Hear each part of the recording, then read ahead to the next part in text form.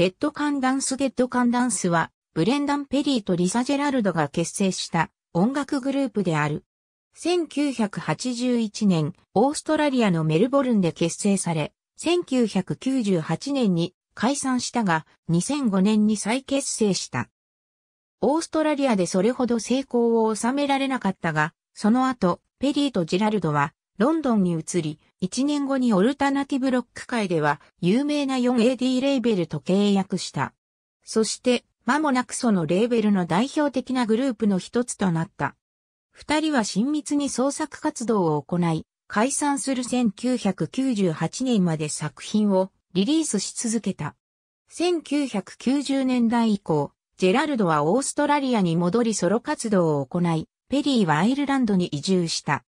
そこで彼は、キビーチャーチという古い教会を購入し、作品を制作しながら、そこに住み始めた。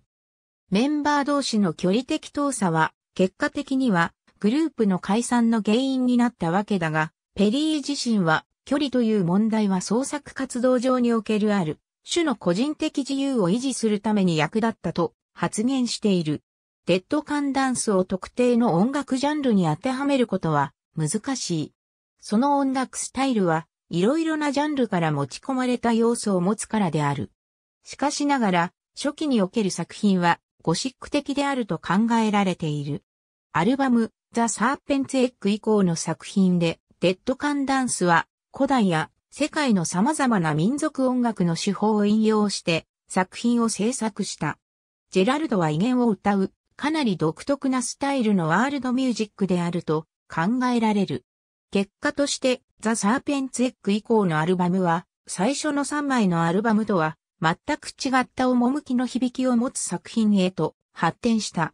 それらは霊的なゴシック音楽ないし、ダークなワールドミュージックであると考えられている。デッドカンダンスというグループ名はデカダンスの単なる文字りであるといった勘違いをされることが多い。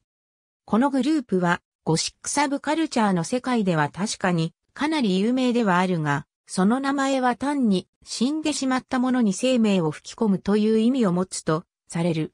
使われている楽器は古楽のものであったり、忘れ去られてもはや顧みられることのない音楽家のものである。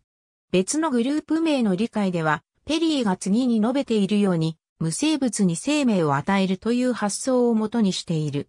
ニューギニアの儀式用の仮面を用いたファーストアルバムのアートワークは、デッドギャンダンスという名前の意味を視覚的に再解釈しようとしたものなんだ。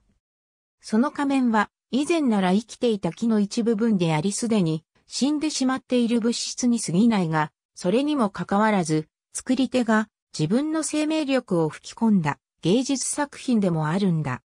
我々がなぜこのようなグループ名を選んだかを理解するためには、無生物を生物に変換する発想、死から生、生へと向かう死を意味する発想を理解しなければいけない。あまりにも多くの人たちが私たち固有のシンボリズムを誤解しており、私たちのことを病的なゴシックタイプとレッテルを貼っているんだ。それは私たちが悲しむべき誤解であり、今でもありがとうございます。